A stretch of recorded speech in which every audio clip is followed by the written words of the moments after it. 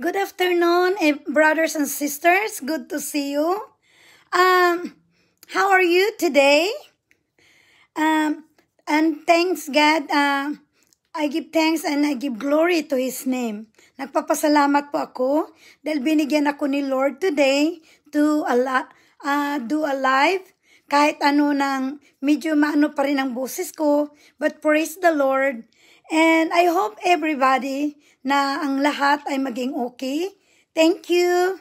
And today, we were talking about the altar of God. That's our title.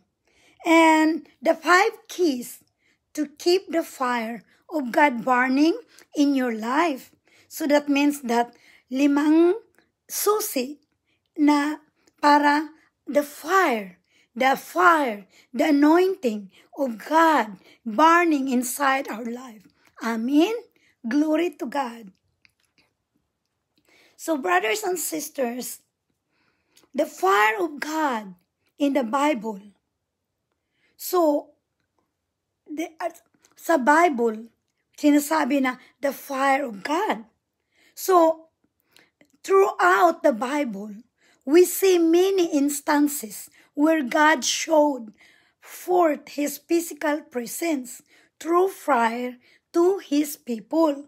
So that means that through sa the Bible, uh, talk about, sinasabi nila na yung mga pagkakataon na when God showed you to, the, you know, the, the physical presence that you can feel, the presence of God, na ma- maramdaman mo kung ang kakaiba na maramdaman mo ang presensya ng Panginoon. Amen?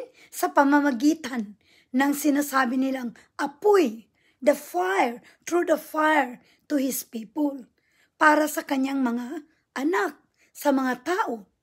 So, we see that God appeared to Moses in the form of a burning, burning bush on Mount Sinai Makita natin yan mga kapatid sa Exodus chapter 3 verse 2 na, na God appeared to Moses in the form of a burning bush. So, nakita no nung panahon ni Moses, nung first time na na-encounter ni Moses ang, ang Panginoon.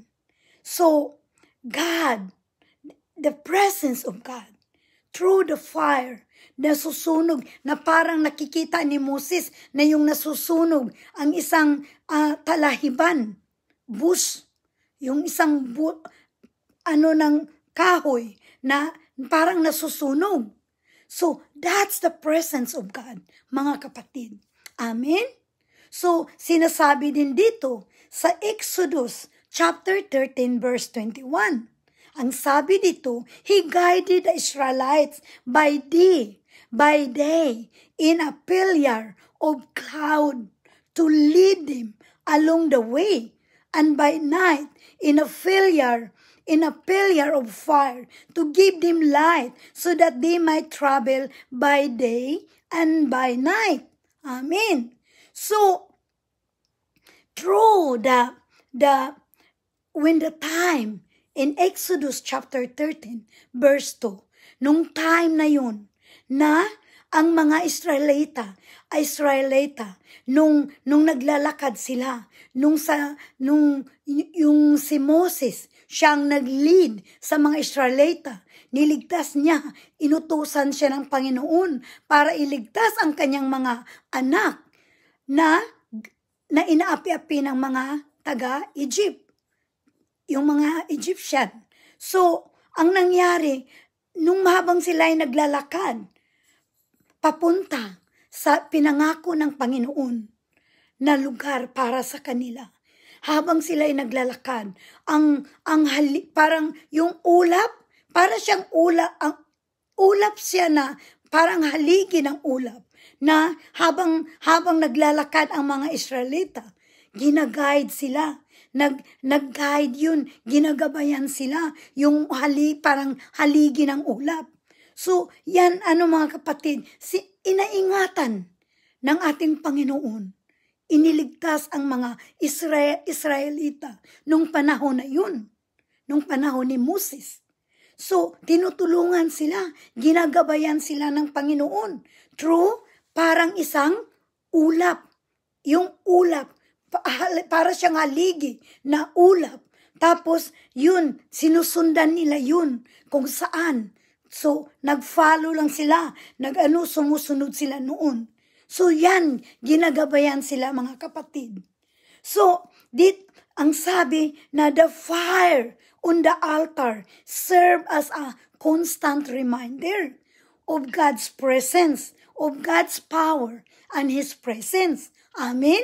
Glory to God. So, nag, yung, yung fire, yung apoy, doon sa altar, when they that, and then nag-remind yan sa kanila, palagi ang, uh, palagi ang uh, constant, palagi ang paalala sa kanila. The presence, ang presensya ng Panginoon.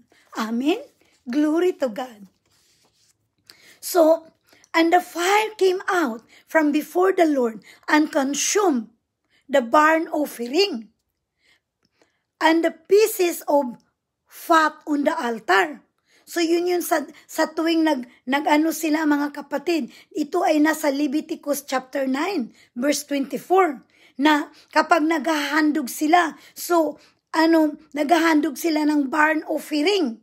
Yung mga hinahandog nila para sa altar, sa templo ng Panginoon noon that time. Tapos, and when all the people saw it, they shouted and fell on their faces. So means fell on their faces. They bow and worship to God. Amen? Glory to God. So as soon, um, so makikita din natin mga kapatid sa 2 Chronicles chapter 7 verse 1, we can see here that as soon as Solomon finished his prayer, fire came down from the heaven and consumed the, the burnt offerings and the sacrifices.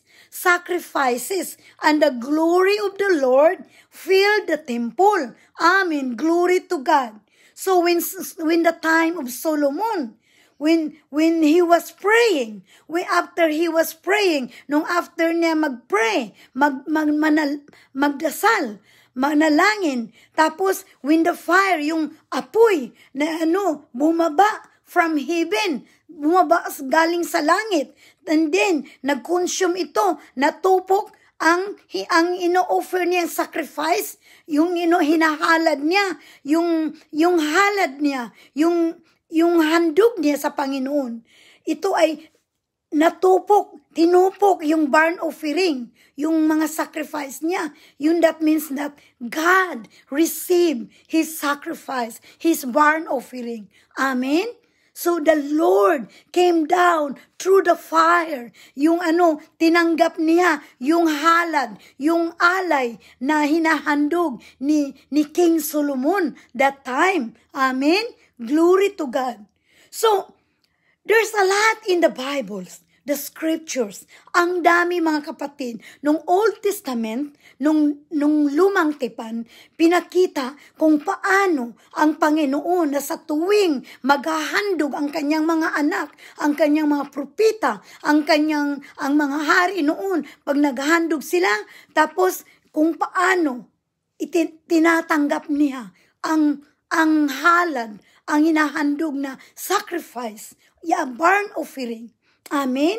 So, and the glory of the Lord filled the temple. So, na after that, naramdaman nila ang presensya, ang glory, the, the, ang presensya ng Panginoon na bumababa doon sa templo at fill the, the, the temple, temple, the temple of God, fill the presence, His presence. Amen? Glory to God. So, when the time of Prophet Elijah, in 1 King chapter 18, chapter 18, verse 30, it says, Elijah, the prophet, prayed to God. Then the fire of the Lord filled and consumed the burnt offering and the wood and the stones and the dust and licked up the water that was in the trench. So, when the Lord, when Elijah uh, prayed, and then the fire of the Lord fill, consume the barn to the barn offering. So, tinupok niya. Nasunog ang, ang handog. Ang, dahil yung, yung the fire, the fire, the presence of the Lord, the fire from heaven came down. And then, natupok yun. Tapos, ano, nagkaroon ng apoy, nasunog ang mga handog. Tapos that means that the sign that the Lord received sa kanilang mga sacrifice, yung mga hinahandog nila, tinanggap ng Panginoon. Hallelujah! Glory to God! So, for the Lord, in Deuteronomy chapter 4 verse 24. Ang sabi dito mga kapatid, For the Lord your God is a consuming fire kumakain ng apoy. So, yung presence ng Panginoon, doon the way na tinatanggap niya ang mga offering, mga sacrifices na hinahandog ng kanyang mga anak noon sa bagong lumang tipan. I'm sorry. So, our God is a jealous God. Amen? Siluso siya mga kapatid. So, dahil kay siluso siya, ingatan natin na hindi tayo magkakasala. So, ang sabi din dito sa Acts chapter 2 verse 3, tongues of fire fill upon the heads of Jesus' disciples. Nung naalala mo, mga kapatid, sa New Testament, sa bagong tipan, nung that, time when the disciples So, the fire, tongues of fire, fill. At sa, at sa kanila'y may na, napakitaang, napakitang mga dilang kawangis ng apoy. Mag, magkaba, magkabahagi at dumayo sa bawat, sa bawat isa't isa sa kanila. So naramdaman nila the fire the fire of tongues, yung dila nga, yung, yung maramdaman mo na kapag ikaw ay naramdaman mo ang presensya ng Panginoon ano nang hindi mo ma, basta nagkaroon ka lang ng tapang, bold ka, yung anong gagawin mo, wala kang takot kasi nandoon ang presensya ng Panginoon, ina-anointing ka niya, ano nang, kaya hindi mo maramdaman yun, yung takot, nahihiya ka sa tao, kung magsasalita, dahil ang Holy Spirit, ang Espiritu Santo, nandoon sa mga disciples. The fire the fire of anointing, of through the power of the Holy Spirit. Amen. Glory to God. Hallelujah. Praise God. So, so I give you the benefits of the fire God in our lives. So, that means that benefits, yung mga beneficyo natin. Bakit mayroong ano yung fire of God sa buhay natin? Ano yun? Ano ba yung ano yung yung sa buhay sa live natin? Ano yung fire of God? So I will explain to you mga kapatid. Amen. Glory to God. So the fire of God resides within us. So that means that the fire of God's naninirahan siya sa atin. Resides mean naninirahan dito, inside, sa ating puso. Amen? Glory to God. Napakasarap mga kapatid na ang presence ng Panginoon, ang presensya ng ating Panginoon nandito, naninirahan sa loob, dito inside, in our body. Amen? So, ito din sinasabi niya yung isang benepisyo. Pangalawa, it purifies. Means, it purifies It helps us to live a holy and righteous life before God. Hallelujah. So that means purifies means nag, nagpapadalisay. Purifies. So, to, nagpapadalisay yan dito sa loob natin to help us para matulungan tayo. How? Paano tayo mamuhay? Mamuhay na banal at matuwid sa ang buhay natin before God. Hallelujah. So, tinutulungan tayo Dahil sa presensya, yung nag-aapoy na presensya ng Panginoon. Amen? Which is the presence of the Holy Spirit. Because our body is the temple of the Holy Spirit. Amen? So dito siya naninirahan sa loob natin, mga kapatid. Amen? Glory to God. So number three, it gives us zeal, passion, and a love for things of God. Hallelujah. So, nagbibigay pala sa atin ng sigasig or pagsisikap. Tapos, pa- passion, pagnanasa, and a love for things of God. Na nagkaroon tayo niyan, love sa lahat na nandoon kung ano ang mga bagay na, na kanais-nais, yung mga bagay sa Panginoon na gusto ng ating Panginoon. Yan, mag, mag-transform tayo. Maniman, magtataka na lang tayo mga kapatid. Dahil nabago na ang buhay natin, binago tayo through the power of the Holy Spirit. Amen? Glory to God. Hallelujah. And then, sinabi din dito mga kapatid, number four, it helps us totally surrender. Totally surrender means na, na, na, totally na completely na si ano nang sumuno, sumuko tayo. Isinusurrender natin ang buong buhay natin nga do, doon sa Panginoon. To God's will for our lives. Kung ano ang will, ano ang gusto ng Panginoon para tayo maging bago na maging bago, bago na lahat. I-transform tayo, babaguhin ang buong buhay natin. Hallelujah. So siya ang tumutulong niyan para mabago tayo. Hallelujah. Praise the Lord. And then sabi din sa ikalima na it gives us boldness and courage to share the good news of the kingdom. Hallelujah. Glory to God. So, yun ang mga, ano, boldness means katapangan magkaroon tayo, bibigyan tayo ng katapangan. Tapos, tapang to share the good news of the kingdom of God para i, i ano natin i-share natin, ipamamahagi natin ang salita ng Panginoon para magkaroon ng kaligtasan ang ibang mga tao na hindi pa nakakilala sa Panginoon. So gagamitin tayo mga kapatid.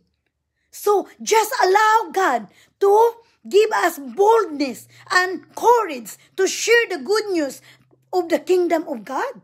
How wonderful, mga kapatid. It's an awesome for me. I love it. Hallelujah! Binigyan tayo niya ng katapangan, maging tapang tayo para ipamamahagi natin ang salita ng Diyos para ang, pag, ang, ang paghahari ng Diyos na hindi pa na ipinangako sa atin ay yun magbibigay na walang hanggan. Amen? Glory to God. Tapos sabi din dito mga kapatid, it protects us. Pinoprotektahan tayo. Glory to God. Kasi iniingatan tayo, pinoprotektahan tayo. Kasi ginag, nag-guide siya, nagagabay sa atin. Tinuturo sa atin kung ano ang masama at hindi. At ang masama at ang mabuti. So, maka, malalaman natin yan dahil siya ang nagpapaalala sa atin. Glory to God. Tapos ang the last, tapos sabi niya, it can be used as a weapon against the enemy. Hallelujah. So the presence of God, yun pala, magagamit natin na parang sandata sa, kalaban sa ating kaaway. Kahit hindi natin nakikita ang kaaway. Alam mo naman si Satanas, lagi tayong dinidiktahan, lagi tayong nililito niya para mailigaw tayo. Pero ang Panginoon, hindi tayo niya pinababayaan. Nandyan siya kapatid, nandyan siya, nagpapalala, tapos binigyan tayo niya ng power. Power, sandata, weapon, or sandata para against laban sa kaaway natin, against our enemy. Glory to God. Hallelujah. Tapos sabi niya, the last, it can be used to bring judgment. Yung paghatol, judgment. So, so maganda mga kapatid. So, lagi siyang nagpaalala sa atin para malaman natin lahat kung paano ang true, the, His presence, yung the fire of God, give boldness ang tapang binigyan tayo ng, ng sandata para malabanan natin ang ating mga kaaway. Kahit hindi natin nakikita, pero alam natin dahil ang Diyos ang nagtuturo sa atin, nagpaparamdam sa atin na nandyan para lagi tayong handa, mga kapatid. Because we are the army of God. So we need to be careful. We need to be aware who's dealing to with, mga kapatid. Amen? Glory to God. So, how to receive the fire? Pag-aralan natin mga kapatid. Pinag-aralan natin the benefits of the fire of God in our lives. Hallelujah. And now, how to receive the fire? So, the fire of God is received when you are born again and baptized by the Holy Spirit's power. Amen. Glory to God. So, how to receive the fire? We can receive if once na tinanggap natin si Kristo na siya ang tagapagligtas natin. He is a Savior. Tinanggap natin niya mga kapatid. So kaya sinabi na ipinanganak tayong ulit. Means born again. Be born again. So, yun mga kapatid. So, be born again. Ipinanganak tayong ulit and then mabaptize tayo through the power of the Holy Spirit. Amen? So, ang Espiritu Santo magbaptize sa atin. Hallelujah. Kaya magkaroon tayo ng, ng lakas, magkaroon tayo ng, ng tapang, magkaroon tayo ng, naalala po ninyo mga kapatid, yung mga disciples, sila si Peter, mga disciples, nagkaroon sila ng speak boldly, to speak boldly to the word of God. Kahit wala silang mga pinag-aralan. Yung iba hindi nag-aaral, mangingisda lang sila. Ang iba naman, ano, kung ano lang ang trabaho nila. Ang iba may doktor din. Pero hindi sila lahat na na may pinag-aralan. Pero the Lord gave them wisdom. The Lord gave them power to speak boldly and courage to share the good news of the kingdom of God. Amen. Glory to God. Hallelujah. So, bininyagan sila through sa Espiritu Santo. Kaya nagkaroon sila ng power. The power. And, and that power, we use that for the, for the kingdom to, to spread the good news. And we use that for to all the riches for His kingdom. Amen? Glory to God. So, I baptized, and then sabi niya sa Matthew, the Matthew chapter 3 verse 11 says, I baptize you with water for repentance, but he who is coming after me is mightier than I, whose sandals I am not worthy to carry. He will baptize you with the Holy Spirit and fire. Hallelujah. Glory to God. So that means na si John the Baptist, siya ang nagsabi na, na I baptize you with water for repentance sa tubig. Yung tubig pala, pagbaptize sa pagba, pagbautismo, pagbibinyag sa tubig ay is the sign for repentance or pagsisisi. Pero yung dumating, ang darating pa after him, after John, ay isa siyang mightier than I. Sabi niya, mightier than I means higit pa siya, mas malakas siya kaysa kay John. Ang sinasabi niya, ang tinutukoy niya mga kapatid ay si Jesus Christ na parating. Kaninong sandal, sabi niya na ano nang wala siyang, he's, he's not worthy, hindi karapat dapat na alisin na kaninong sandalyas kasi yung sinasabi ni tinutukoy si Jesus Christ. So, He will baptize you with the Holy Spirit and fire. So, apoy at saka Espiritu Santo. Nagbaptismo siya, bininyagan niya ang mga ang mga anak ng ng Diyos ng ng apoy at sa Espiritu Santo. So Spirit, Spirit of God the Holy Spirit and the fire. Hallelujah. Glory to God. As you receive the fire, you have to daily live a life that is pleasing to God by presenting your bodies as a living sacrifice, holy, acceptable unto God, which is you, reasonable service. Hallelujah. That is in Romans chapter 12 verse 1. Na kapag tinanggap natin ang fire, ang, ang apoy na everyday daily of our life, nakaka, na dapat namumuhay tayo ayon sa kalooban niya. Nililinis natin. We have to examine our, ourselves. Kailangan na lahat ng ginawa natin nakakalulugod ayon sa kalooban ng Panginoon. We have the, yung, yung pag, present, i-present natin na yung kailangan, ang katawan natin, our body, our living, kailangan mayroong rason na kailangan linisin natin lahat ng kung ano ang mayroon, kailangan nating baguhin, kailangan maging holy tayo in the presence of God, na yung acceptable unto God. Amen? Na katanggap-tanggap, acceptable unto God's So which is your reasonable service? So yung makatwiran na serbisyo. Amen? Glory to God. Hallelujah. Praise the Lord. So, we done already the benefits and then how to receive the fire. The benefits of the fire of God in our lives and then how to receive the fire of God. Hallelujah. And then the reward of those who keep the fire burning. Yan ang number three. So, in Matthew chapter 25, verse 1 to 4, it says here, At that time, the kingdom of heaven will be like ten virgins who took their lamps and went out to meet the bridegroom. Five of them were foolish, and five were wise. The foolish one one, the foolish ones took their lamps, but they did not take any oil with them. The wise the wise, however, took oil in jars along with their lamps. No one wants to be a, to be found in the situation of the five foolish virgins. They were present, but they did not have any oil to keep the fire in their lamps burning. So they did not go with Jesus to the marriage feast. And the door was shut.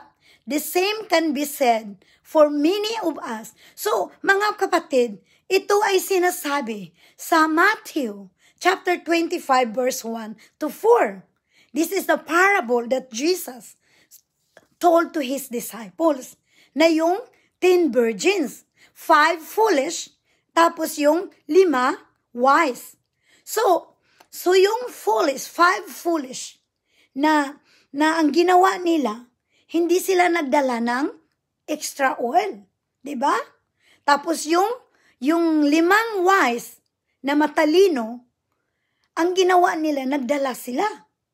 So, so kailangan, yung nagdala sila ng extra, doon nilagay nila sa, sa yung sa jars, yung oil.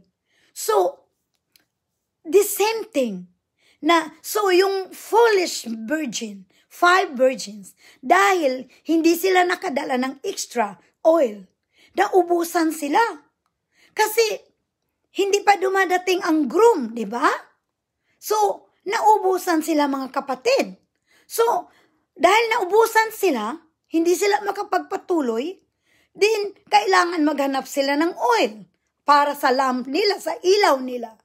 Pero yung lima na matatalino, nagdala sila. So, may reserba sila. So, tuloy-tuloy ang lakad nila hanggang nakarating sila sa patatunguhan nila. Ang, ang taong tawag nun, marriage feast. It's a wedding. So, hanggang dumating ang bridegroom. So, nung habang naghahanap yung five foolish virgin, So, siguro hindi natin alam, hindi pa sila nakakuha ng, ng oil para gagamitin nila. Dahil nauubusan na sila ng oil. So, ang lana. So, ang nangyari mga kapatid, pagbalik nila doon sa, sa marriage feast, nat nasarahan na ang pintuan. The door was shut. Amen?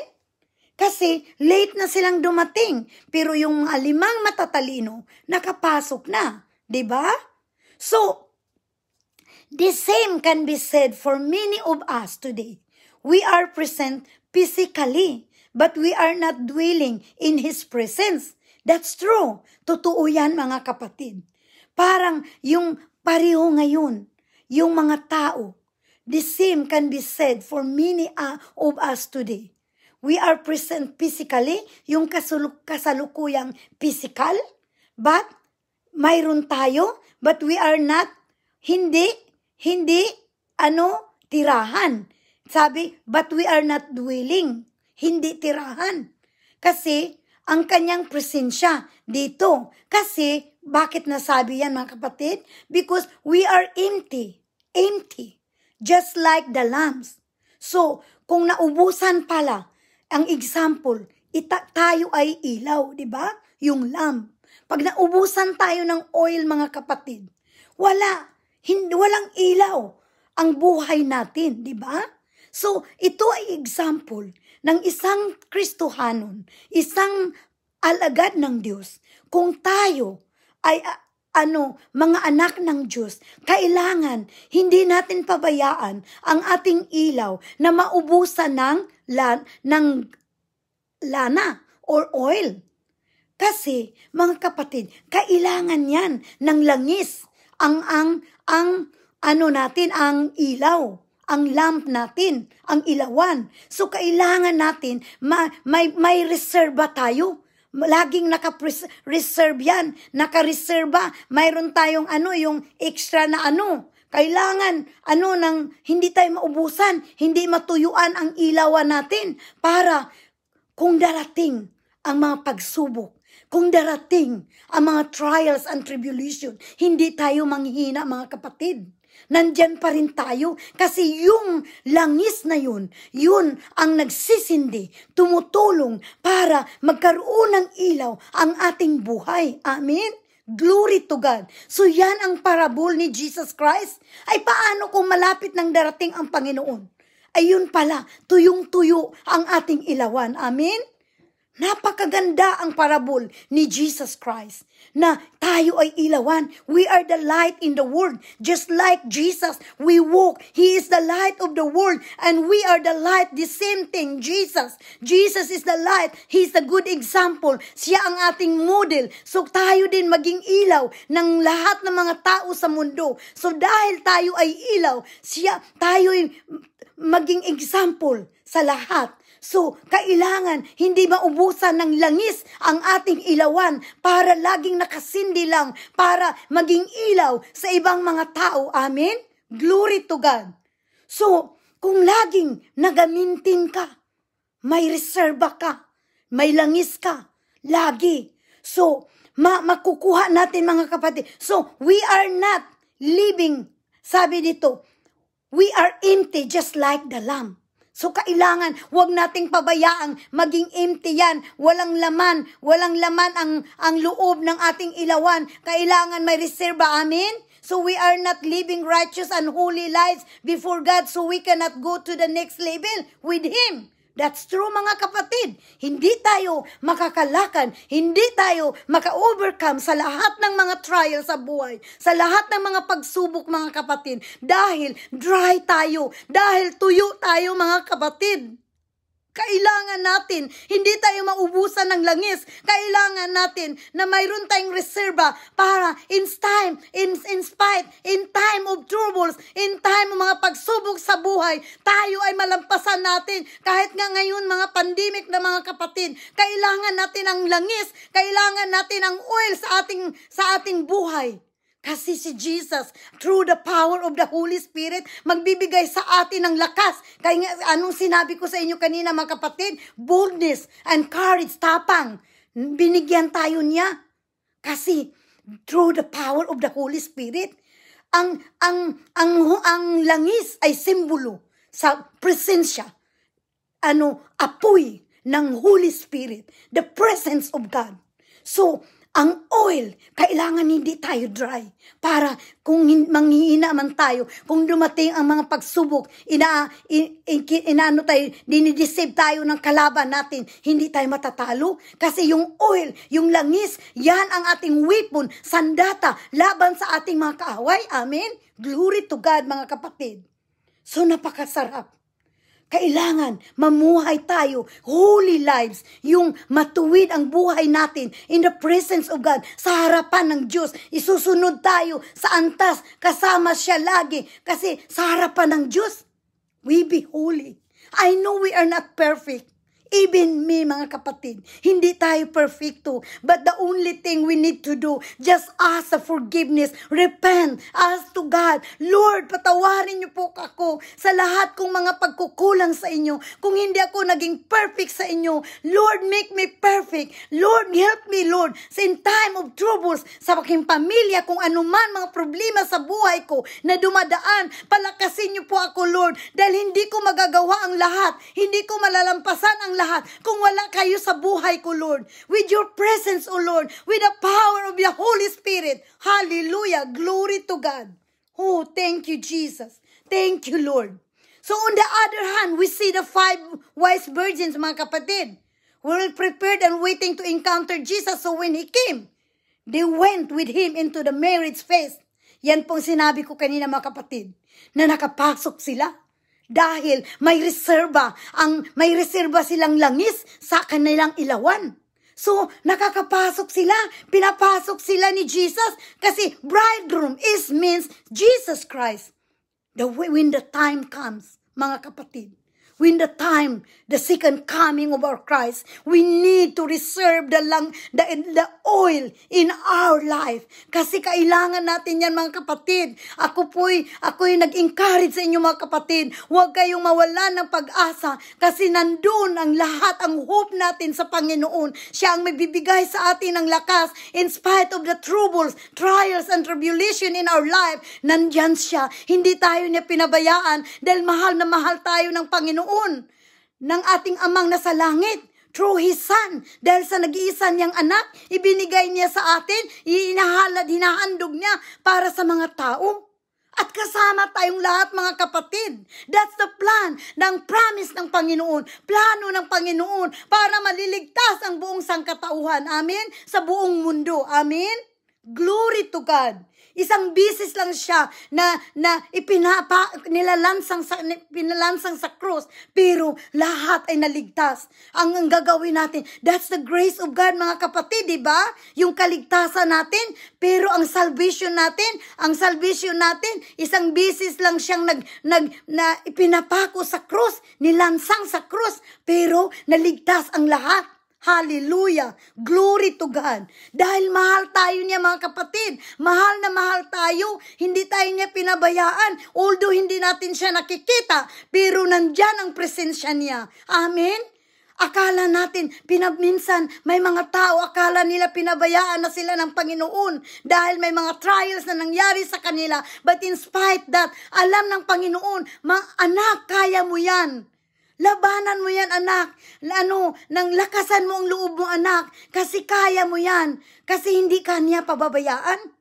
Minsan na nangyari yan sa buhay mo dahil may plano ang Panginoon. The more you be strong, the more the Lord will bless you and raise you up. Amen? Glory to God. Just be patient and trusted to God. Trust to God. Embrace Him through the power of the Holy Spirit. Believing and depending on Him. Huwag kang ay maniwala sa sarili mo lang kakayahan, kundi magtiwala tayo sa Panginoon. Dahil ang Diyos ay matibay. Siya ang malakas, powerful na Panginoon. Amen? Glory to God. Yan po mga kapatid ang buhay ko.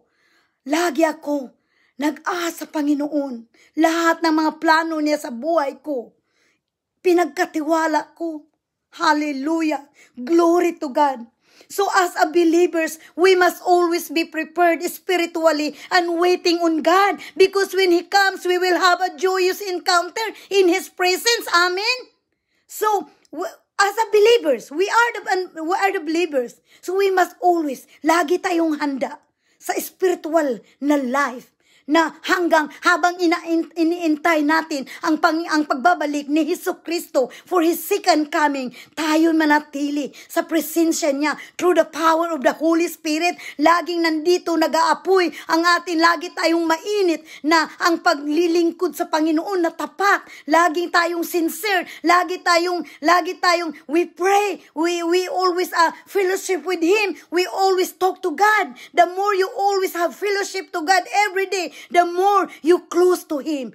You can call like your best, Jesus is your best friend. Dahil naramdaman mo ang presensya niya. Nandyan siya lagi. Hallelujah. Glory to God. So, kahit hindi mo siya nakikita mga kapatid, pero yung presensya niya na parang apoy, sabi nga, fire of God, that's the presence of the Holy Spirit na minsan, pag nag-pray ako, naramdaman ko na parang nasusunog yung ilalim dito sa ano ko, sa buong katawan ko. Kasi ang presensya ng Panginoon, nandun naramdaman ko, He anointing, He guide us, He speak, He, He give us a, ano, boldly to speak the word of God. Mga kapatid, yung pag, pag ano ko sa inyo dito, pag-share sa salita ng Diyos, hindi ko ito makakaya kung wala ang Espiritu Santo. Siya ang nagbibigay sa akin ng lakas. Wala akong magagawa mga kapatid kung wala ang, ang presensya ng Panginoon. Siya ang nag-guide sa akin.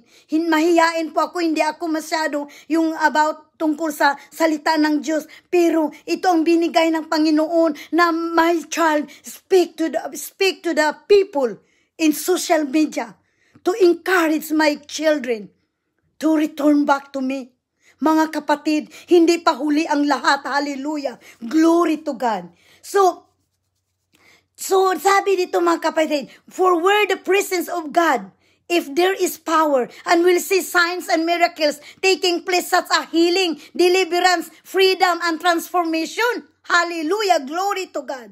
So, yung kung saan daw ang presensya ng Panginoon, nandoon ang power Nandoon ah. And then we can see the signs, the miracles.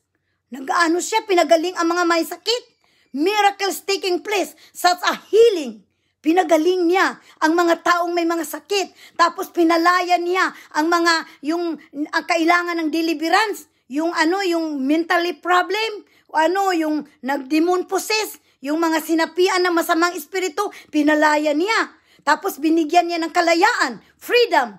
And then, bin ang pagbabago sa buhay ng tao. Kasi binago siya. Kaya nga sabi sa 2, 2 Corinthians 5.17, If anyone is in, in, is in Christ, he is a new creation. The old has passed away. The old has passed away. And we behold, the new has come. Bago na, new na tayo, bago tayo, binago tayo, new being na tayo, binago na ang buhay natin diyan sa Panginoon. We be born again. Ano, pinanganak tayong ulit, kaya tinawag na be born again. And then, we, we baptize, bininyagan tayo sa Espiritu Santo. Amen? Glory to God. Hallelujah. So, five ways to keep the fire burning in our lives. So, kailangan yung five ways na ibibigay ko sa inyo para mananatili ang, ang fire ang fire, yung apoy, ang presensya ng Panginoon dito sa buhay natin. Ano mga kapatid? Para mamuhay tayo ayon sa kalooban niya. So number one, meditate on God's word day and night. So what means meditate? Gunitain natin ang or magnilay, gunitain, Medyo mahirap yung magnilay na word sa Tagalog, mga kapatid. So, gunitain, ano, ang salita ng Panginoon, the word of God. So, day and night, like Joshua, meditate the word of God day and night. Hallelujah. Kasi the more you meditate, ano, and then it says here that meditate the word of night, read it, basahin mo, tapos speak it sabihin mo, and then ipamuhay mo ito. Hallelujah. Kaya I love James uh, in the, the sa scripture ng James kasi ano, ito mga kapatid sabi, hindi lang din meditate the word of God. Hindi mo lang gunitain mga kapatid. Day and night. Hindi lang yan. Basahin mo. Tapos, speak, sabihin mo. Kailangan speak mo loud. And then, lead it. Ipamuhay mo. So that mean ipamuhay mo, i-apply natin sa sarili natin na kung ano ang sinabi ng the Word of God, ang salita ng Diyos, yan din ang gagawin natin. Mamuhay tayo kasi yung Word of God, kaya nga sabi doon sa 2 Timothy 3.16, Thus all the scripture is inspired by God and is profitable for teaching, rebuking, correcting, and training in all in all righteousness. Hallelujah. So, ang word of God, ang salita ng Diyos ay gabayan natin kung paano tayo mamumuhay ayon sa kalooban ng Panginoon. Kasi nandoon, ginagabayan tayo, tinuturuan tayo mga kapatid through His Scripture. Kaya remember mga kapatid na ang, ang the word of God, if you meditate the word of God, that's our armor, sandata, laban sa kaaway natin. Alam niyo pong ginawa noon, nung nag, nag ano si Jesus Christ noon, nag prayer and fasting, tapos tinukso siya ni Satanas, pero hindi natatalo. Anong ginamit ni Jesus Christ? Ang the word of God, scripture. So, ganun din ang gagawin natin mga kapatid. Kung ano ang ginawa ni Jesus Christ noon, yan din ang gagawin natin. Kasi si Jesus Christ, He's a good example. He's a model. Kaya nga, nung pumunta siya dito para ipakita sa lahat kung paano tayo mamumuhay ayon sa kalooban ng pang amang nasa langit. Siya ay he's a good example. Modelo siya sa ating lahat kung anong ginawa niya, anong nagpapalaya siya ng masamang espiritu, pinagaling niya, na-deliver lahat ang mga masamang espiritu, na gumagaling ang may mga sakit, nakalakad, nakakita ang mga bulag, ano, mga pilay, nakakalakad, yun ginawa niya yun.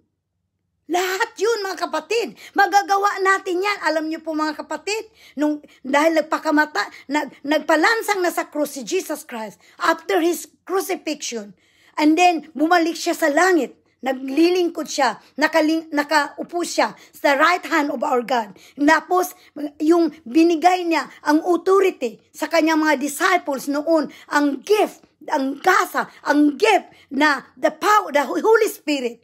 Kaya hindi lang ang mga disciples ang nakaranas niyan. Tayong lahat mga kapatid, naranasan natin yan. Na, na, na, naranasan natin ang presensya ng Panginoon dahil tayo ay mga followers ni Jesus Christ. Amen? Glory to God.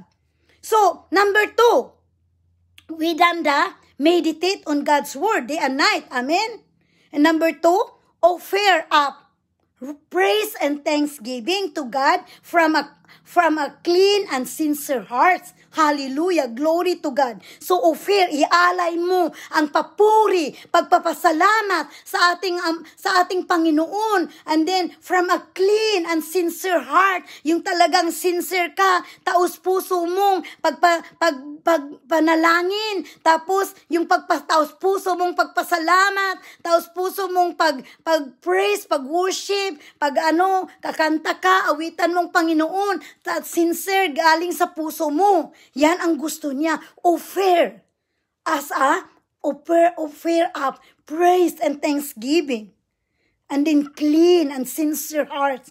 Amen? So number three, be prayerful. So be prayerful. Lagi tayong magdadasal, lagi tayong manalangin. The Lord hears the prayer of the righteous. So pinakinggan ng Panginoon ang mga prayer ng isang matuwid na tao.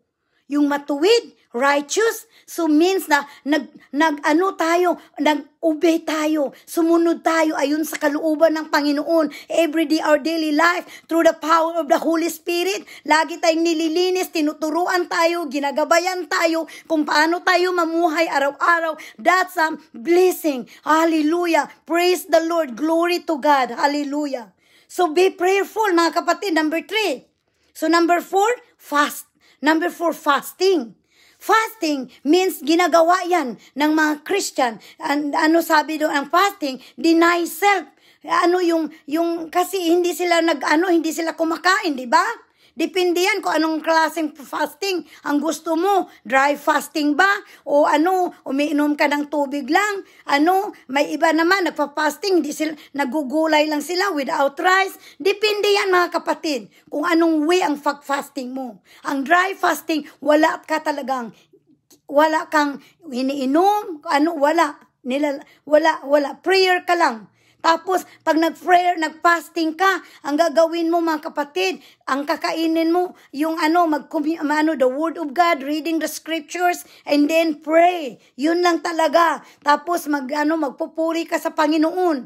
Kasi the more na ano, ano yung fasting, nagpapalakasin sa iyo. Kung mayroon kang inaas sa Panginoon, tapos dinggin ng Panginoon ang mga prayer mo, tapos the more God anointing you, more fasting, more spending time with the Lord, prayer, tapos ano, ano, reading the scriptures, and more spending just between you and God, fellowship with God for that day. You want to spend time with the Lord, fasting, and then prayer, and then, uh, uh, what's that? Uh, the singing, praising to God, and lift up to God, and then everything, and then you pray, kung ano mga request pray mo sa Panginoon, yun, i, i ano mo, sabihin mo kay Lord, lahat-lahat, lahat kung anong gusto mo, desired sa buhay mo ng Panginoon, mag-provide niyan. Kaya nga sabi doon sa Matthew 7.7, Ask and it will be given to you. And seek and you will find. And knock and the door it will be open to you. Dahil mahal tayo ng Panginoon. Kung anong hinihingi niya, hin, anong hinihingi natin mga kapatid, ibibigay niya kung yan ay taos puso. Earnestly, earnestly, yung sincere ang pag-ask mo ibibigay niya. No doubt. Kasi kung may doubt ka, huwag ka na lang mag-ask mga kapatid. Kasi I'm sure 100% hindi yan tutugunin kung may doubt ka. So focus to God. He's the source of our faith. He's the perfection of our faith. Amen? He's the source of life. Amen? Glory to God. So number five, the last. The five ways to keep the fire burning in, in our lives. Number five, serve, with, serve others with good attitude. Hallelujah. Glory to God. So, nandyan yung word, meditate the word of God, right, mga kapatid? Ang the word of God, nagsasabi lahat, nagtuturo sa atin kung paano tayo mamumuhay ayon sa kalooban niya. So, the word of God, teaching also kung paano tayo maging serve others with good attitude. Yung respeto natin sa ating kapwa. Kahit hindi pa niya kilala ang Panginoon, be patient. Huwag natin siyang husgahan hindi natin i-criticize, hindi natin i-judge ang tao. Kasi God called us not to judge to others, kundi ipakita natin ang totoong pagmamahal. Dahil God is love. Amen? Dahil love ang Panginoon, dahil um, dahil mahal tayo ng Panginoon, ipakita natin kung ano ang na-bless tayo sa Panginoon to, dahil sa salita ng Panginoon. Kailangan i-share natin kung anong mayroon tayo. Dahil yan ang gusto ng ating amang nasa langit. Di ba si Jesus Christ, yan ang ginagawa niya. Ano yung mga parables niya, the Good Samaritan. Di ba? So, we have to serve others. Kung sa church ninyo, may mga volunteers, mag-feeding homeless, gawin ninyo yan, mag-join kayo. Kung mayroong mga kapitbahay nyo na walang makain, bibigyan ninyo, tutulungan. Kung sino ang nahirapan sa buhay, tulungan ninyo kung mayroon kayo. The, Lord, the Lord gonna bless you more. Kasi alam niya na ang puso mo, mayroon kang isang puso, nabutihin na puso, puno sa pagmamahal. Yung ano, yung busilak na puso, ang tawag ba nun? So, yun mga kapatid, hindi tayo maging maramot sa ating kapwa. Kailangan, dahil yun, galing sa Panginoon kung anong mayroon tayo. Kung ikaw mayaman, bigyan mo yung mga mahihirap ng tulong, lalo na ngayon sa pandemic, mga kapatid, di ba? Kailangan, bigyan mo ng bigas kung mayroon kang farm, di ba? So, kailangan yun mga kapatid. Kung may pira, ang, ang maraming mga naghihirap ngayon, na wala ng trabaho dahil sa pandemic, kailangan tulungan natin mga kapatid. Kung sino, hindi tayo magbulag-bulagan. The Lord knows your heart. He knows everything. He's omniscient God. Amen? Praise the Lord. So, so yun, naibigay ko na sa inyo mga kapatid. Ang, ang the, the five ways. The five ways. Amen? Glory to God. The five ways how to, how to keep the fire burning in our lives. Number one, meditate the word on God's word day and night. And then number two, offer up praise and thanksgiving to God from a clean and sincere heart. And then number three, be prayerful The Lord hears the prayer of the righteous. And then number four, fasting. Deny self to clearly hear from God's as you seek His direction. Kung kailangan mo ng guidance, direction sa buhay mo. Kasi yung pag-fasting mo, tinuturuan ka, kinakausap ka ng Panginoon. If you have, the only thing you do is to be more sensitive, the presence of the Holy Spirit. Kasi ang presensya ng Panginoon ay parang nag-whisper lang yan. Binubulungan ka, maliit. Kaya you have to be listen. You have to ask God to hear, how to know, how to recognize His voice. Amen? Glory to God. And then, and then number five, serve others with good attitude. Amen? Glory to God. So, so the Bible, ano, but, uh, okay, the other one is Bible verses about the fire of God, yung apoy ng Diyos. So ano, ito ibibigay ko sa inyo yung mga verses mga kapatid. So, iano na lang ninyo, mamaya isusulat ko sa ano, ilalagay ko diyan sa ano ko sa sa YouTube channel yung mga the word of God. Lahat itatype ko 'yan para isi-search na lang niyo mga kapatid, pero ibibigay ko pa rin babasahin ko mga kapatid. Ano? O sige po. Okay, ang sabi dito, the Hebrew, Hebrews chapter 12 verse 29. Those are the verses that are talking about na apoy ng Diyos, yung fire of God. So, sa Hebrews chapter 12 verse 29 says, For our God is a consuming fire. So kumakain siya ng apoy sa tuwing maghahalad yung mga ano yung apoy ang Panginoon, yung presensya. Kaya nandoon ano yan pag ay, ikaw ay nag-prayerful na tao, lagi maramdaman mo yung init sa katawan mo. Yun ang presensya ng Panginoon. Naramdaman mo na nandyan siya. Ako nga pag nag-pray ako mga kapatid, naramdaman ko nandun siya.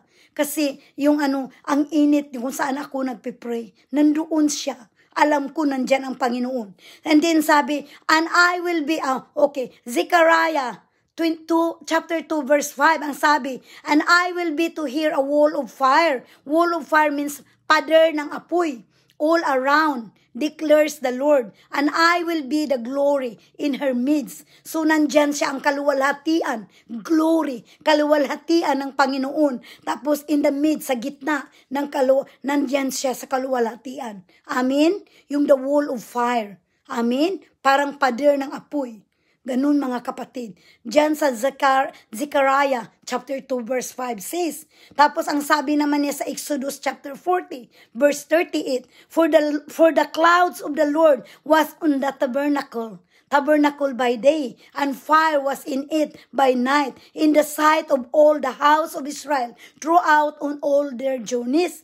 Yun yung mga kapatid, yung nag-ano sila, naglalakbay sila, di ba? Pero nandoon yung tabernacle, di ba? By day, ano, nang, nandoon yung fire, yung presence ng Panginoon, day by night. Amen? So, nandoon yan, kasama sa mga Israelita noong unang panahon. Glory to God. So, dito naman sa ano, sa 1 Peter chapter 1 verse 7 says, So that the tested genuineness of your faith, more precious than gold that perishes, though it is tested by fire, may be found to result in praise and glory and honor at the revelation of Jesus Christ. That's in 1 Peter chapter 1 verse 7. So, yung genuineness na sinasabi dito, yung pagiging totoo natin sa Kanya. Amen? Yung faith natin, yung pananampalataya natin na pagiging matutuo. Hindi fake, ha? Yung totoo. And then, mas mahalaga, more precious, mas mahalaga than gold. That, ano, yung inahalimbawa, yung isang gold. 'di ba? Yung alas, yung ganon, yung gold, 'di ba? So higit pa diyan. Dahil ang result niyan, matagpuan natin ang result niyan, praise and glory and honor at the revelation of Jesus Christ. Amen. Diyan na nasusubukan yan, yung tasted by fire. Yung, alam mo yung gold, pag tinitest, di ba, yung mga nag-ano ng mining, di ba, tinitest nila yan kung totoo bang gold. Ganun din tayo, mga kapatid. Tinitest, tinitest, sinusubukan tayo ng Panginoon kung ang pananampalataya natin ay totoo. Talagang genuine. Totoo ba tayo sa Kanya? Hindi lang, ano, oh Lord, Lord, Lord, di ba? Kaya nga sinabi doon sa Second Testament, sa, sa New Testament, na hindi lahat ng tumatawag na Lord, Lord ay makapunta sa kaharian ng Diyos, sa heaven. Kasi hindi lahat, hindi lahat, Hindi natin alam pang, ang Panginoon lang nakakaalam yan, mga kapatid. Kaya habang nandito tayo, before His coming, may time pa tayo na magbalik loob sa Kanya. Amen? Glory to God. Tapos sabi dito sa Zechariah chapter 13 verse 9, And I will put this third into the fire and refine them as one refines silver and and test them as gold is tested. They will call upon my name and I will answer them. I will say, they are my people. And they will say, the Lord is my God. Amen? How beautiful this word. Gusto ko ito mga kapatid. Zechariah chapter 13 verse 9 na yung i-refine, i-refine tayo, ititest tayo kung totoong i-refine tayo, kung pino ba talaga, talagang gold ba tayo silver ba tayo or gold ba tayo? Pag na, naano na totoo tayo, anong sabi niya? They will call upon my name and I will answer them. Napakasarap mga kapatid. Kung talagang tayo ay genuine ang puso natin sa Panginoon, didinggin ang mga prayer natin. I will answer them. I will say they are my people. Sasabihin niya, tayo ay mga anak niya. Ba? Tapos tayo na magsabi, Lord, you are my God. Amen? Glory to God. I'm so blessed this word in Zechariah, Zechariah chapter 13 verse 9. Tapos sabi naman niya dito sa Matthew chapter 3 verse 11, I baptize you with water for repentance. Nasabi ko na yata ito kanina. Tapos, but he who is coming after me is mightier than I ho. I, mightier than I. I, whose sandals I am not worthy to carry. He will baptize you kasam and with the Holy Spirit and fire. Ito yung sinasabi kanina ni John the Baptist na siya ay magbaptize sa tubig. Yung ang tubig for repentance or pagsisisi. Pero yung darating, higit pa, mas malakas sa kanya, ay yun ang tinutukoy niya, ay si Jesus Christ, the Lamb of God, na darating na siya ay magbaptismo sa Espiritu at saka sa fire, apoy. Espiritu Santo at apoy. Dahil yung Espiritu Santo ang tinuturo ni, tinutukoy niya mga kapatid. Amen? Glory to God. Tapos sabi niya dito, 1 Corinthians chapter, chapter 3 verse 15 to 17, If anyone, anyone works is burned up, he will suffer loss, though, though he himself will be saved, but only as through fire. Do you not know that you are God's temple and that God's Spirit dwells in you? If anyone destroy God's temple, God will destroy him. Hallelujah. For God's temple is holy and you are the temple. Hallelujah. Ito mga kapatid, dito sa 2 Corinto, chapter 3 verse 15 to 17, talagang sinasabi dito clear. If anyone works is burned up, nasusunog, he will suffer loss, magdusa, pagkawala. Tapos, yung, yung mga na-save, but only through the fire, yung na-save na hindi nasusunog. Do you not know that you are God's temple? Yes, mga kapatid. Our body, templo ng Holy Spirit. Our body is a temple of the Holy Spirit. And God will destroy him kung sino man ang sisira noon. If anyone destroy God's temple. So, paano ba? Paano masabi? Explain ko mga kapatid ha. Yung sinasabi, if anyone destroy God's temple. Yung pag-destroy, ang sinasabi nito na we are the temple of the Holy Spirit, right? We are the temple of God. So, templo ito, kailangan ingatan natin na hindi masira. So, paano ba masisira? Kung tayo ay natukso, nagkakasala. So ingatan natin mga kapatid na hindi tayo magkakasala. Ingatan natin na lagi tayong malinis sa harapan ng Panginoon para hindi natin masi madungisan, masira.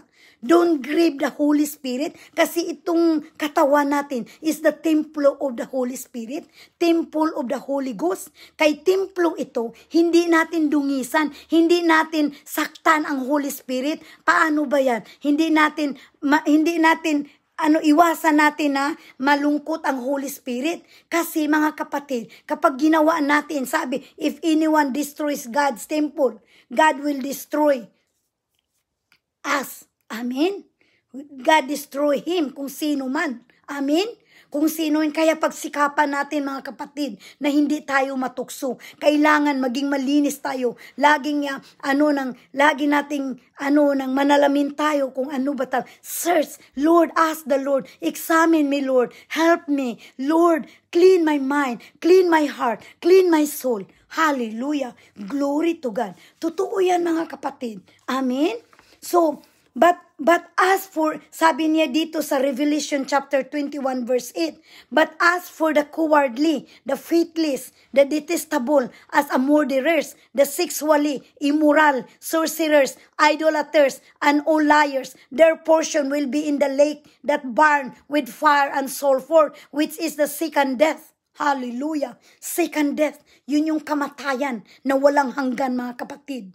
Nang pagdating ng Panginoon, hukman tayo. Yun the judgment of the second coming of Christ. Amen. Hindi ako, hindi ko kayo tinatakot mga kapatid. But this is the true in Revelation chapter 21 verse 8 na nagsasabi dito, yung cowardly, but as for the cowardly, yung mga duwag, tapos yung mga faithless, walang pananampalataya, tapos detestable, yung kasuklam-suklam.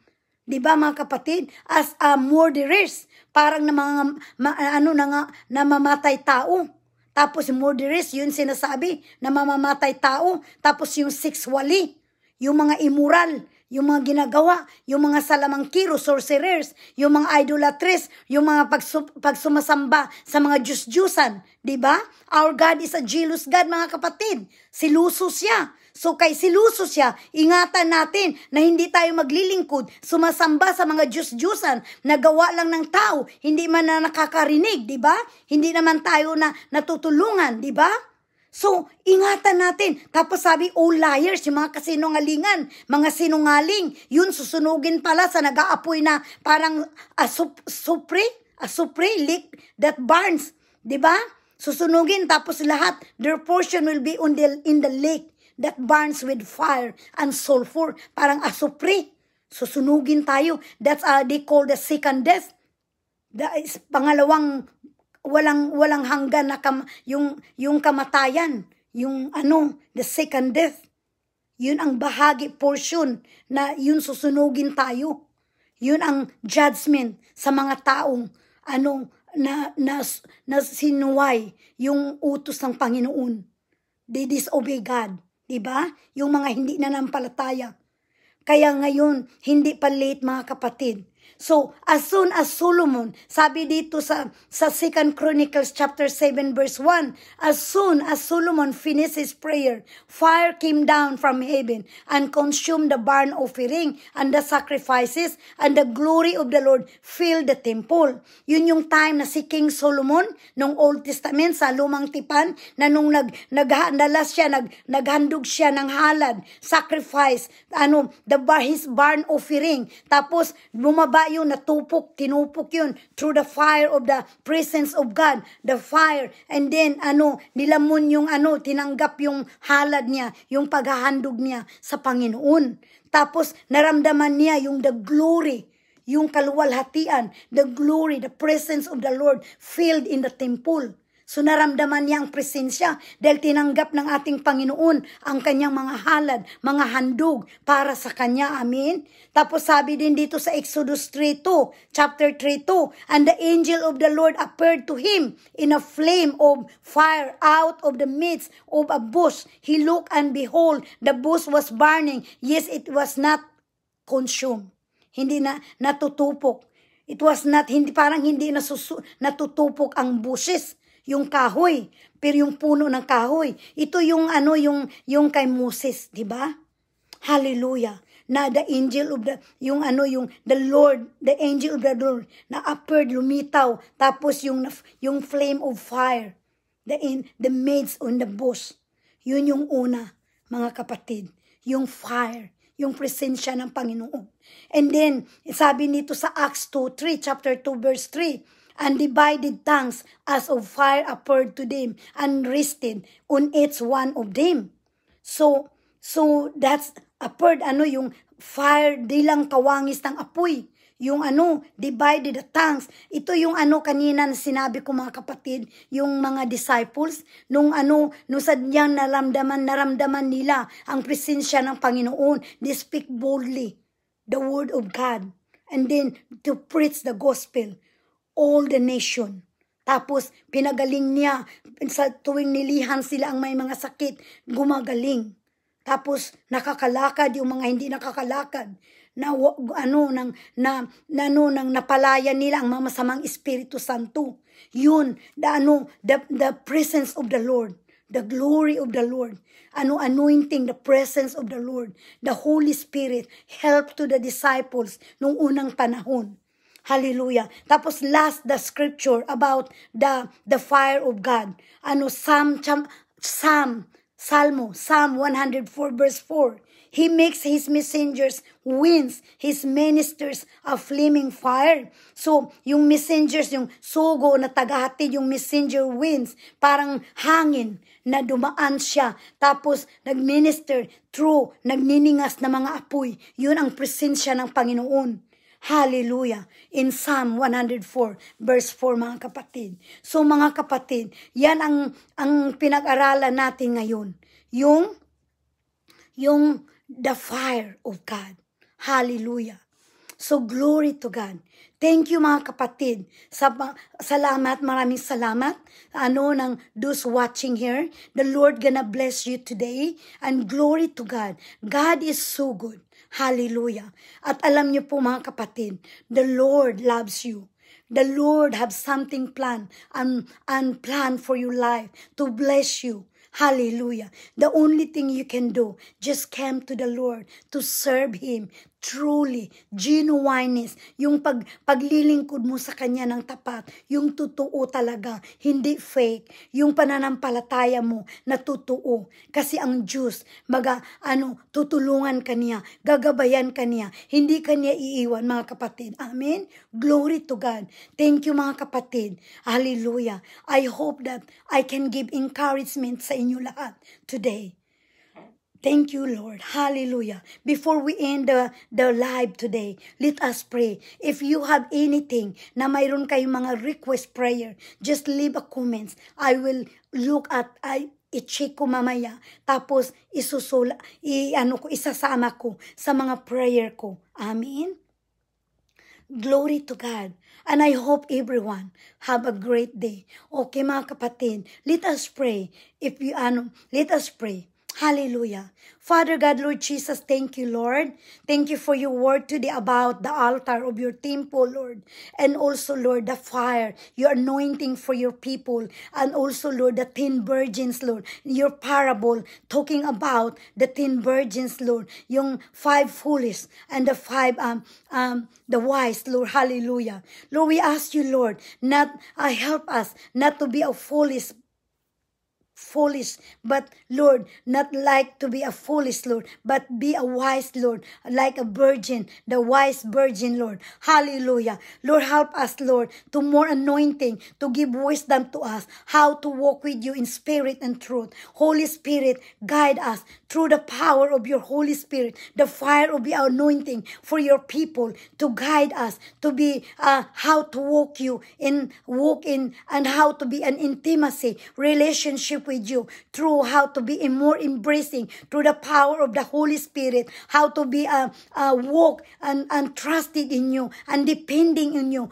through your fire of your Holy Spirit. Hallelujah. Lord, help us to understand your purpose and your plan for our life to each one of us, O Lord. And I know there's a lot of people around the world, Lord, mis and uh, confused and distracting of their life. Lord, help them how to return back to you, to focus you, Lord, to direct it in you, Lord. Help us, Lord, to meditate in your word daily, day and night, O Lord. O Rababakanti Kasanda Rabasiya, how to be more boldly, speak boldly, to share your word, Lord, the good news for your kingdom, O Lord. Help us, Lord. Bigyan mo po kami ng tapang, bigyan mo po kami ng courageous, O Lord, to, to do your will, O Lord. Help us every day of our life, O Lord. Take control everything of our life, Lord. Those people watching in our youth, in YouTube and Facebook, O Lord. I ask you to bless to each one of us, of them, O Lord. Help them kung anumang mga needs nila, Lord. Lord, I ask you, Lord, to bless them, O Lord. I lay hands upon them, Lord. To those people have sickness, Lord. To those people have a,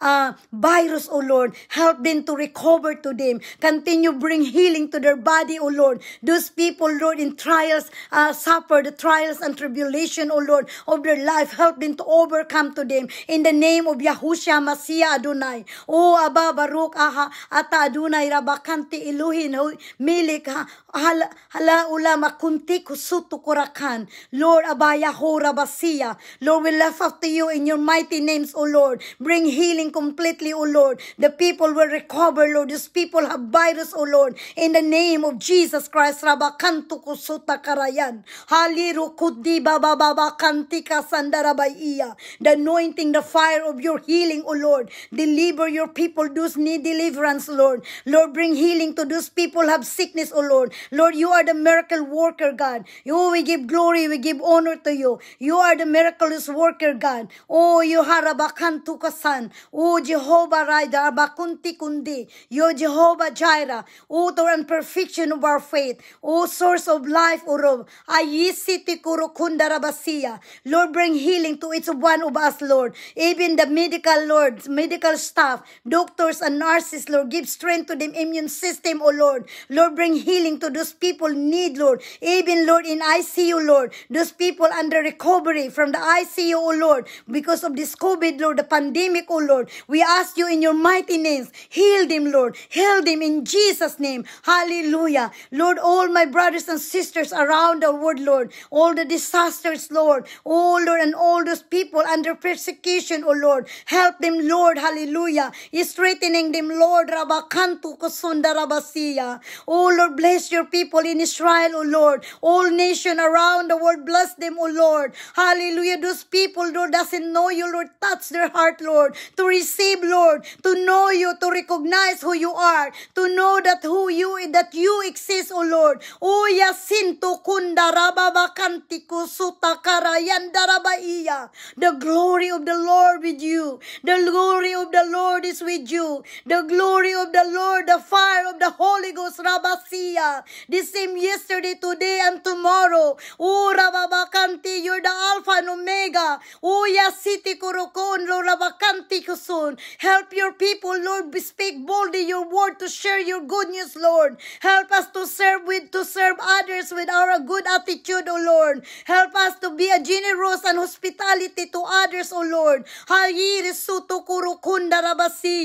Thank you, Lord. You're always protecting us. You never leave us nor forsake us, Lord. Thank you for everything, the good things you have done for our life, O Lord. Even we don't know our, you, Lord, but you are always with us. You're taking care of us. Thank you, Lord. You provide, Lord, hallelujah, our food daily, Lord, in spite of pandemic, O Lord. But you never leave us, Lord. Thank you, Jesus. Thank you, Holy Spirit of God. Oh, we love you. We give glory. We give honor to you. We can do nothing without you, Lord. Glory to be your name. Thank you, Lord. Thank you for your word today, for encouragement. Thank you, Jesus, for your presence. Thank you for all the viewers. Thank you for all the subscribers that you bless them, Lord. Thank you for all the sponsors, oh Lord.